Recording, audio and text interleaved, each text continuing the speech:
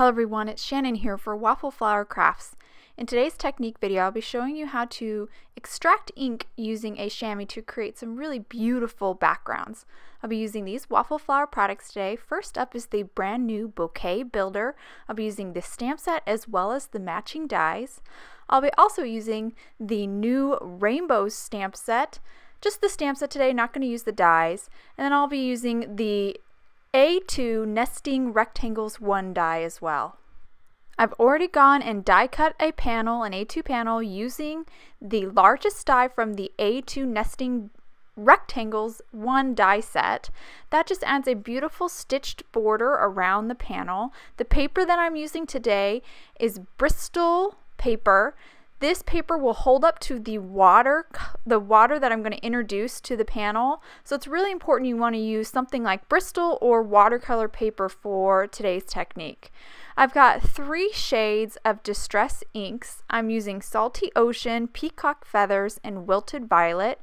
I'm just going to really simply blend these three inks over this A2 panel really simple blending. I'm not worried about um, perfect smooth transitions here because of today's technique. It will kind of hide some of your flaws. So if you do struggle with ink blending, this is a great technique for um, smoothing out your blending and just really adding um, some variation to your background. Again, just really simply, I'm putting, I start with one shade at a time. So I started with Salty Ocean. I typically start with my lightest shades first and then I moved to peacock feathers and now I'm doing some wil wilted violet. And I will get a little bit of wilted violet in all those remaining um, white spots and then I'm going to go back over with my starting back with the salty ocean and then working my way back through the other colors just to add like a second layer just to build up the intensity the more color you have, or I should say the darker colors you choose, the better this technique looks. And I started with basically kind of, well, these are darker colors, not as dark as it could get, but I started with some medium kind of shades for to demonstrate this technique for you guys. So now that this ink blending is all done, I'm just going to hold it to the camera so you can see. It's nice and dark. You can see not perfect ink blending, but again, not worried about that because the technique's going to hide any of the flaws. So now I'm going to show you the chamois that I'm using. I purchased this on Amazon. It's called the Absorber. It comes in a very large sheet. It's rolled up inside here. I'll pull it out so you can see it. This is what I actually use to clean my stamps. It works great for cleaning stamps because it doesn't leave any lint like baby wipes do. So you can see that's why this is so dirty, this chamois, because I've been using it to clean my stamps. But today I'm going to kind of bunch it up like you see here. So I have lots of folds and then I'm going to smush it down onto my paper lightly and it's picking up the ink and leaving this beautiful uh, wrinkled folded texture behind and once I cover the whole panel it almost looks ethereal. It's just very really very, very pretty and very easy to do. This chamois is wet, but it's wrung out several times because what will happen if you haven't used a chamois um, before, it will dry out and get really hard. So you have to kind of re-wet it, squeeze it, kind of like a sponge under the water to get it softened again. But once I've got it softening and I wring it out really well, so it's not dripping wet, it's just a little bit of water and they're basically the same consistency you would use to clean your stamps. So this is all done. I did have a little uh, droplets of water on there, that's why I have spots on that one side, but you can see that beautiful um, folds and kind of texture that that that chamois creates on the surface. I'm going to do it one more time here. This time I ink blended with three Distress Oxides. I used Twisted Citron, Cracked Pistachio, and Lucky Clover. Again, I bunched up my chamois here to get kind of some folds because I want that texture. And I'm going over really quickly, just pouncing the surface, and you can see the beautiful folds and bends and almost fog or smoke like texture it creates on the surface. It's just so cool and so easy to do. And that's all done. So it works just as well for distress oxides as distress inks. And don't be fooled, this one, the distress oxide when the green one seems lighter, that's just because I use lighter shades. So if you use darker distress oxides, you'll have a more pronounced pattern as well, like the first one I did with the distress inks. So now I'm just going to do some simple stamping here. I'm pulling out, some of the beautiful flowers and leaves from the Bouquet Builder set, stamping it on some white cardstock, 110 pound white cardstock, using Memento Tuxedo Black because I'm going to do some Copic coloring here. I'm just going to ink up these stamps, stamp them down, and then I will ink them up and stamp them one more time just so I have bold, uh, crisp images. I love this new flower set. It was illustrated by Helen Dardik. The blooms are so beautiful and they are just so fun to color, which is what I'm going to do next.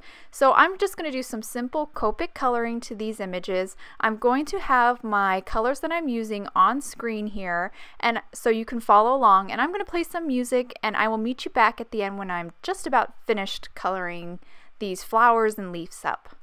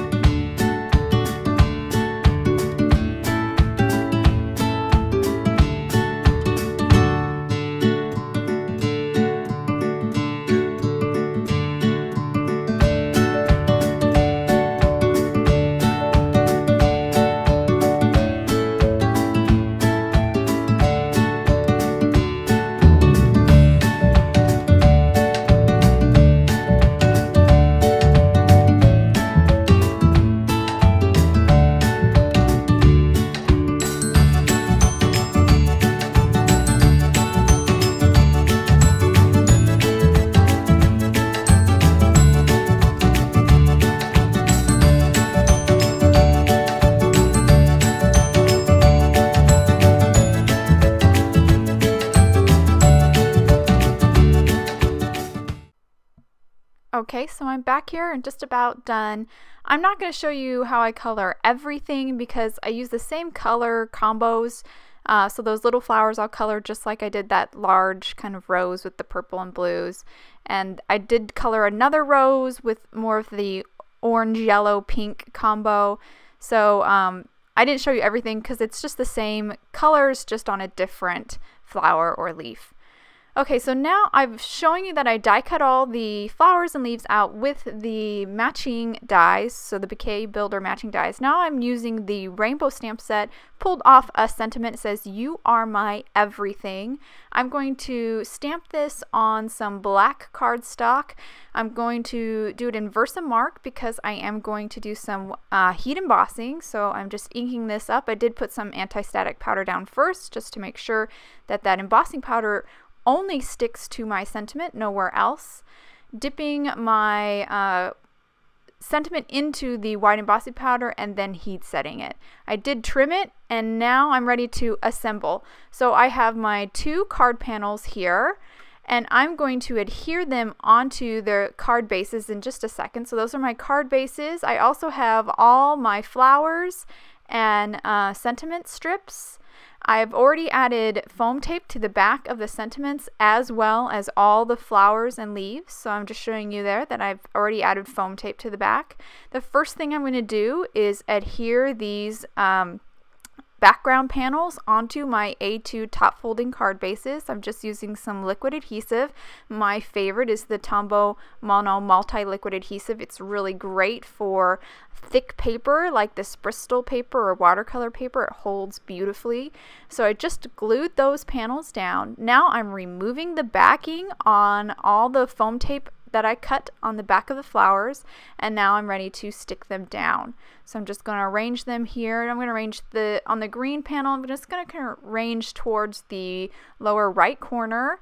I'm going to also use most of my flowers for this card as well. And just make a nice little, kind of like a bouquet almost, at the lower right corner. And then I will do my sentiment up at the top. I really like the contrast of that black and white, brings out all those sharp lines um, in the stamped images as well.